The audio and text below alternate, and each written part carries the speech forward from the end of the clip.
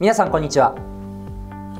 本日は金沢大学の総合型学校推薦型選抜について解説をしていきます。本日も山内さんと共に解説していきます。どうぞよろしくお願いします。よろしくお願いします。実際に金沢大学まずはどんな大学なのかというところから、えー、山内さんに聞いていこうと思います。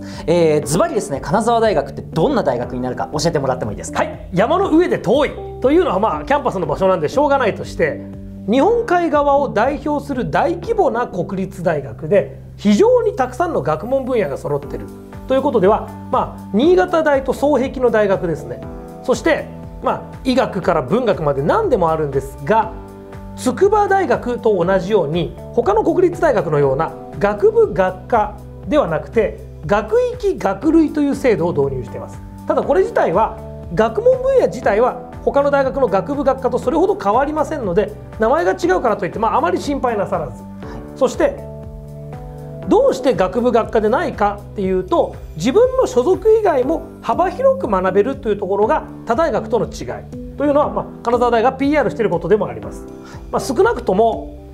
国立大学を目指している人にとっては東北大名古屋大といったいわゆる宮廷大に次ぐ人気のある大学であり石川県の高校生また富山福井といった北陸の受験生にとっての大きな憧れの大学ですね。はい、はい、ありがとうございます。さあ実際まあそんな魅力的な非常にですねまあ総合的な大学ということで、えー、金沢大学ありますけれども実際総合型や学校推薦型についてはどんな、えー、枠が開かれているのかというのを見ていこうと思います。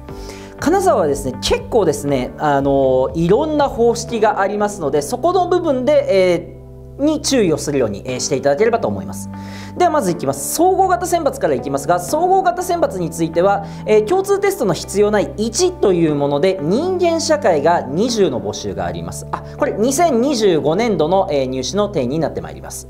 えー、改めて、え、総合型選抜1人間社会が20これ筐体なしです。で協定がありの総合型選抜2については融合。ここが19、えー、人間社会51理工、えー、20、えー、それから医薬保険の中の「医」が、えー、2ですね。さらにですね、えーいろんな名前がありまして英語総合選抜なんていうものがありましてこれも融合が、えー、若干名の募集。さらにデジタル人材選抜というものがあり同じここも融合が6理工が40え、さらに女子枠特別入試というもので理工が34これも協定あります。えー、さらにですね、えー、学校推薦の方、えー、目を向けていきましょう。学校推薦型選抜1というもの。これはですねどちらかというとより専門家庭的なものや総合課程というものを、え高校で履修されている方向けなんですけれども人間社会で10あります、え学校推薦型選抜2に行きます。こちらも協定がありなんですけれども、え人間社会7理工が3で、えー、医薬保険の中での「医」について。ここがですね一般で15、えー、石川県枠が12富山県枠が2とありさらに保険が33ということでですね非常にまあ多様なと言いますか、えー、入試方式があるというところです一個一個の方式だけを見ると多い少ないというところはあるかもしれないですけれども全体で見るとこの総合型学校推薦型選抜の枠としては、えー、徐々にですね枠を増やしているそのようなことが見て取れる、えー、入試になります。これこれだけ多様な、えー、枠の取り方していますけれどもこの取り方ななんでこういう取り方してるかというところ山内さんとしてはどう見られますか？昨今近隣の国公立大学で、はい、推薦枠がとても大きい大学が増えてるんですよ。はい、で金沢大の近所だと、はい、信州大学長野県のそれから新潟大学。新潟大学は受験難易度的には金沢大学と同格に、ま、の認識だと思うんですけど、新潟大ものすごく推薦の枠大きいんですね。で実はそれに比べると小さいんですよ。しかも金沢大の場合その法学部や経済学部っていう取り方をしなくなったので、はい、一見2桁の定員に見えるんですけど、はい、大学そのものが大きい割には、うん、やっぱり僕から見て金沢大学というのは、うん、推薦の枠がとても小さい学校です。うん、なので金沢大学のメッセージは、大きくは一般でくれば、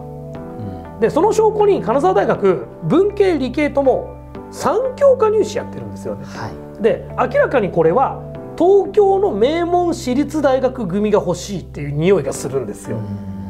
まあ正直言うとマーチじゃなくて金沢大来ればっていうのを都会の受験生に対して、はい、そういう感じで金沢大そのものは高い学力を要求している。っていうのが僕としてはやっぱ前提。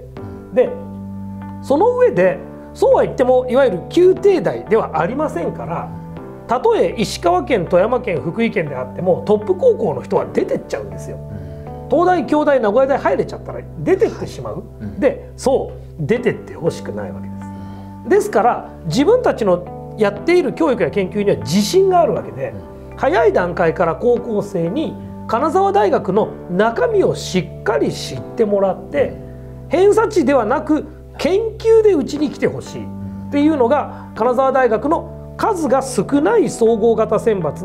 のメッセージ、まあ、学校推薦型選抜もそうなんですけど、はい、なので金沢大学のことを深く理解しマッチング相性が合う人でないと金沢大も欲しくないし受験生も突破できないという点で正直他の国立大の推薦と比べても強敵だと思います。ただその手間をかけただけの価値は入学すれば当然あります。はい、はい、ありがとうございます。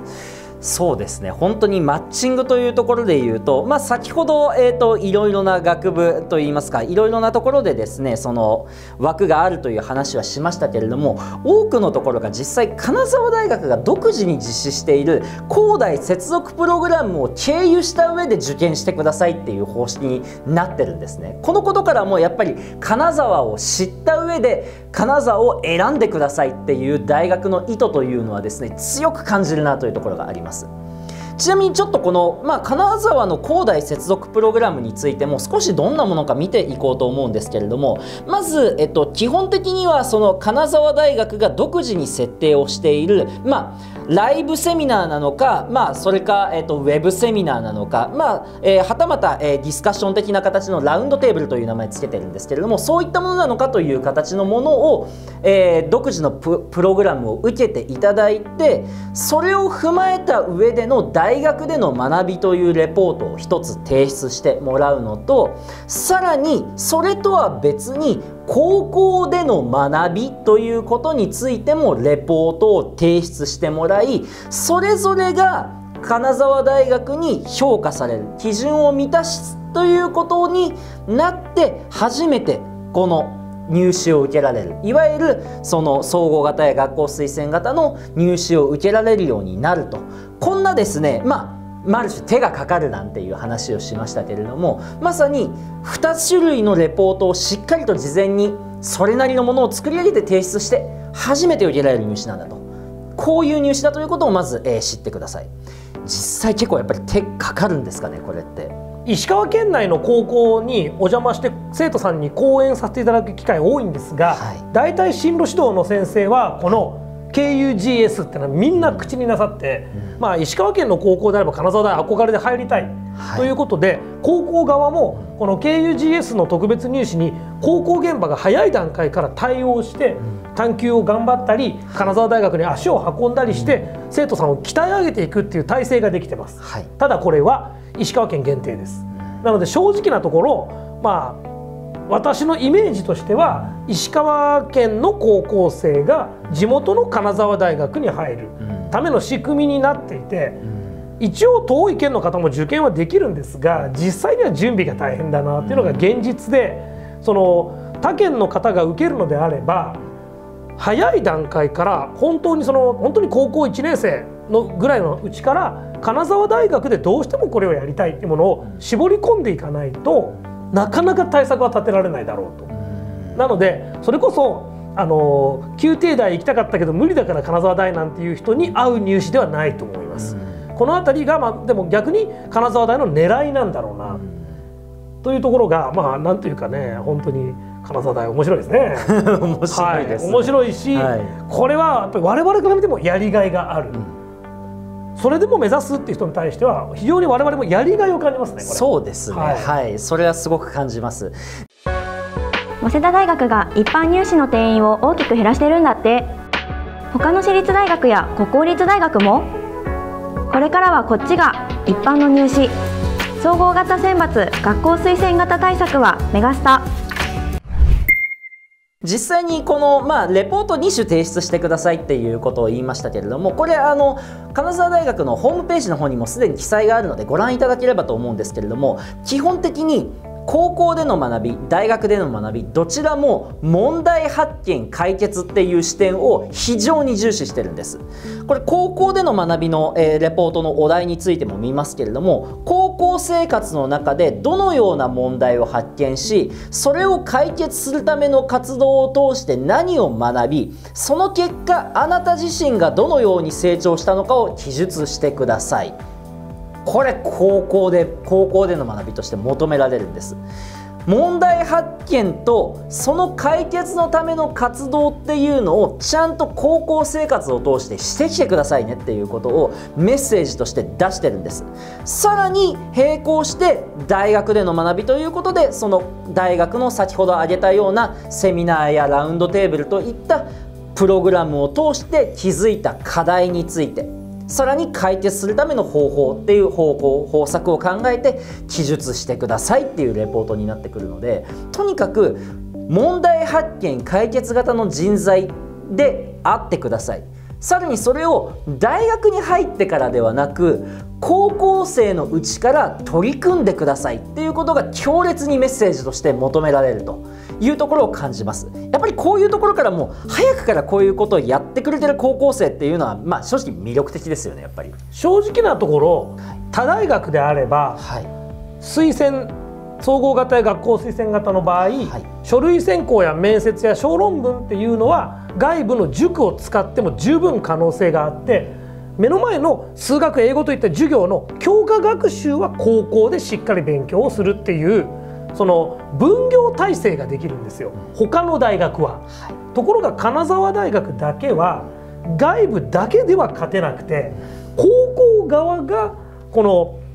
KUGS に合わせて高校の先生が受験したいあなたとしっかり組まないと外部の人もそれ応援しようがない。だから分業じゃなくて一緒にやらなきゃいけないぐらいの感覚で本当にそういう金沢大学が要求するものの高さこれをよく理解をして挑戦をしないと、うん、その推薦だから一般の点数でいくよりチャンスあるかもなんていう気持ちでいくと本当に返り討ちにされてしまう、うん、高校側の協力や理解が不可欠。で石川県内の県立高校の進学校であれば先生方必死に対策なさってくださってますが、うん、この KUGS って何？みたいなことを他県で言われてしまった場合は本当に先生方に早い段階から高校の協力がないととても突破できる推薦の入試ではないんだ。っていうのはやっぱりそのしっかり受験生の方や保護者を含め、みんなでチームで行くぞ、まあもちろんメガスタも含めですね、はい、チームで行くぞっていう姿勢を持たないと、これは大変だ。っていうのがまあ僕の印象です。まあ、そこまでしていきたいという思いがあればきっと突破できるとは思います。はいありがとうございます本当にチームでっていうところ非常に大事でですね、まあ、例えば、まあ、これもちょっと金沢のホームページの記載から、えーと、持ってくるんですけれども例えばその高校の中での学びっていうところで、あの実際なんかタイトルとかもこれレポートにつけなきゃいけないんですけれどもその中で例えばこう良くない例みたいなのを挙げてるんですけれども探究学習で困ったことみたいな対象が広すぎるようなものっていうのはあげタイトルにしないでくださいと、うんうん、もうちゃんとピンポイントで自分なりの問題発見だったり問題解決っていうのが何かっていうことについてまで相当踏み込んでくるっていうことが求められているっていうところがありますのでもう本当に探究頑張った。だからまあそれをちょこちょこっと使えばこのプログラムに、えー突破していけるっていうほどのものではないと。ちゃんと探究学習っていうものをもちろん活用すること自体は悪いわけではないんですけれどもそこで探究学習としてこれについてやった。だからもう OK じゃなくてそこからさらにもう一深掘り興味を持つっていうこと。これが非常に求めてきてる水準だなというところになりますので意識してほしいのはとにかく問題発見解決型であったり革新的に金沢というところを狙っていくということが求められますのでそこを意識して受験に臨むようにしてください。まあ、少しハードルの高い、ね、話もさせてもらいましたが非常に魅力的な大学になりますのでここを目指す人ぜひですねもう一度言います問題発見や課題発見解決型の人材に早くからなって取り組んでいくということを意識して取り組んでいきましょうでは本日の解説は以上となります。山内さんありがとうございました。ありがとうございました。ご視聴ありがとうございました。メガスタでは総合型選抜推薦入試の説明会をオンラインで無料で開催しています。この説明会では総合型選抜推薦入試のことを詳しく知ることができるだけでなくどうやったらお子さんが総合型選抜推薦入試で受かるかまで専門の教務がお伝えしています。気になる方は画像をタップしていただくか概要欄のリンクからご確認ください。